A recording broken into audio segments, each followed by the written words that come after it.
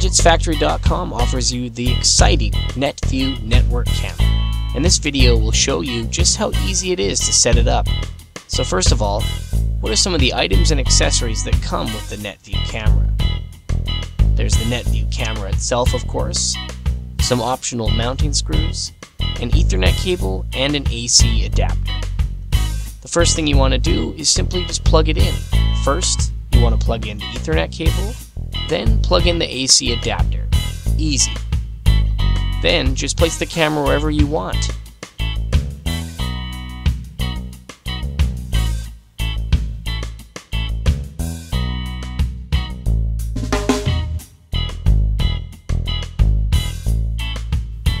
So go to GadgetsFactory.com today and grab a NetVue network camera and a bunch of other cool gadgets. And don't forget to click above to view another video about the NetVue camera.